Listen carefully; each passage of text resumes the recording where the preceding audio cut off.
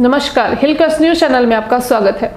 कृषि कानूनों के विरोध में गर्जी सीटू सीटू जिला कमेटी ने संयुक्त किसान मोर्चा के भारत बंद का समर्थन करते हुए गांधी चौक पर प्रदर्शन किया। कृषि कानूनों को वापस लेने की मांग सरकार से की गई है। कृषि कानून वापस लेने संबंधी ज्ञापन उपायुक्त हमीरपुर के माध्यम से प्रधानमंत्री को भेजा गया।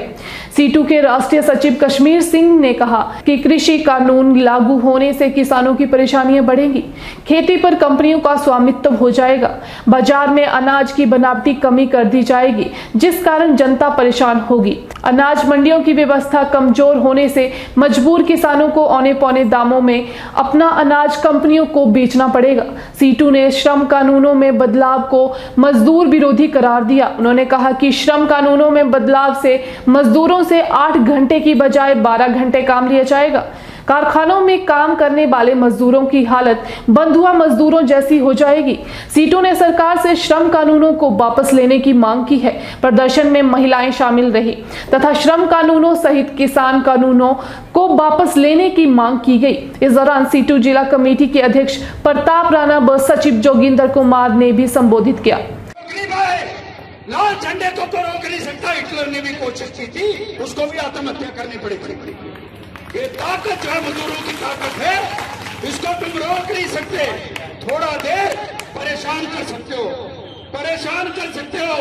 और इसलिए हमने फैसला किया है, जो पिछले साल के लोगों का वजीबे के फार्म नहीं आए पैसे नहीं आए। दो दो तीन तीन साल से सामान सेंक्शन पड़ा है। सेंक्शन है सामान दो दो साल से, वो मिल नहीं रहा। एमएलए और मंत्री देगा। ये है बात। एमएलए दे, मंत्री दे, जो मर्ज़ी दे, सामान मिलना चाहिए। और अगर ये नहीं मिलेगा, पंद्रह दिन के बाद, पंद्रह दिन के बाद कल्याण बोर्ड के दफ्तर का घेराव किया जाएगा। ये करेंगे हम लोग। हज़ारों लोग करेंगे।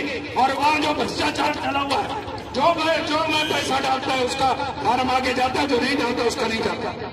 ये बात हम करेंगे। और कल हम चिट्ठी देंगे चेयरमैन को। सेक्रेटरी को। और इस तरह से जो है, मेरा निवेदना से है, उस लड़ाई के लिए तैयार होना पड़ेगा। वो लड़ाई जो कल्याण बोर्ड में अन्याय की लड़ाई है, अन्याय के खिलाफ जो लड़ाई है, उसके खिलाफ भी खड़ा होना पड़ेगा। और हम खड़े होंगे विश्वास है कि हमीरपुर ज़िले का हज़ारों मजदूर, हमारी भाई बहने तमाम लोग जो है, पहले की तरह लड़ाई में शामिल होंगे।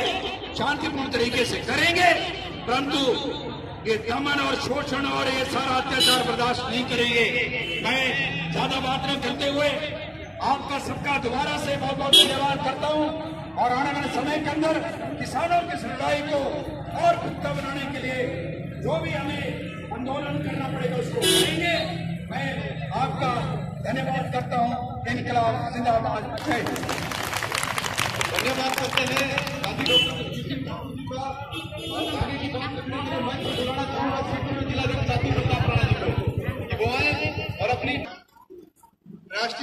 सीआईटी जोगिंदर जी सुरेश जी, रंजन जी व धन सिंह व साथियों जैसा कि आपको आज मालूम है कि पूरे हिंदुस्तान में मजदूर और किसान आज पंख का बाँध दिया हुआ है। और जैसा कि आप जानते हैं कि मजदूर और किसान ही एक ऐसी वर्ग है जो देश मेहनत करते हैं और रीढ़ की हड्डी कहलाते हैं। परंतु जैसा कि देखा गया, जब से मोदी जी केंद्र सरकार में सत्ता में आए हैं, तब से ही मजदूरों और किसानों के ऊपर जो है हमला बोल दिया। और आज की तारीख में जैसे कि बताया गया, किसानों के जो चौतालीस श्रम कानून थे, उनको बदल के चार श्रम कानून बना दिए। श्रम कानूनों में जो है फेर बदल कर दिया। और जैसे जो डेढ़ सौ, दो सौ साल पहले जो है लड़ाई लड़के जो है आठ घंटे की ड्यूटी की थी, उसको बारह घंटे की ड्यूटी डबल में तब्दील किया गया। और रात्रि को जो है महिलाओं की भी जो जो लगेगा। और दूसरी तरफ़ किसानों के विरुद्ध में तीन काले कानून पास कर दिए जिसको लेकर कोई खास चर्चा नहीं हुई ना तो लोकसभा में हुई ना राज्यसभा में पास कर दिए गए। और पूरी गाय कानूनों को बदलने के लिए जो किसान हैं, दस महीने से जो अपना आंदोलन चला रहे हैं। और उसी के समर्थन में मजदूर जो है, जो श्रम कानूनों में और दूसरी जो चीज़ें हैं, महँगाई है, बेरोजगारी है, और सारी चीज़ें जो है, जो हो रही है, उसमें किसानों का साथ देके आज जो है भारत का में पूरा सहयोग कर रहे हैं। और उसी कड़ी में हिमाचल प्रदेश में भी हर जगह जो है, ये विरोध प्रदर्शन हो रहे हैं।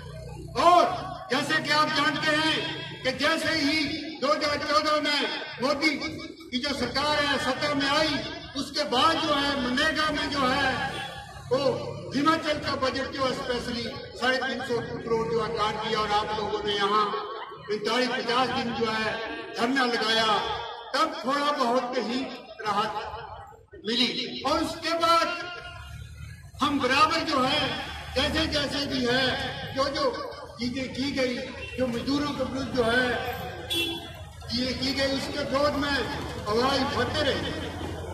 तो आगे भी जैसे बताया गया, बहुत से जो है, चीज़ें जो है, आप लोगों के लड़ाई से संघर्ष से जो है, हासिल की गई है। काफ़ी बढ़ोतरी हुई है, चाहे पेंशन है, मुजीफा है, शादी के हैं, ये दूसरे पैसे हैं। और सामान मिलता था, सामान बंद कर दिया गया। तो ये चीज़ें जो पनप रही है, जो मजदूर विरोधी मनरेगा के जो मजदूर हैं, उनके खिलाफ जो है, ये चीज़ें आ रही है। इसको लड़ने के लिए जो है, जैसे हम पहले भी बताते रहे, कि जो हमारी गाँव कमेटी है तो मैं शिल्पा शर्मा अब आपसे विदा लेती हूँ, धन्यवाद। देखते रहिए Hill Quest News channel like share subscribe करना ना भूलें।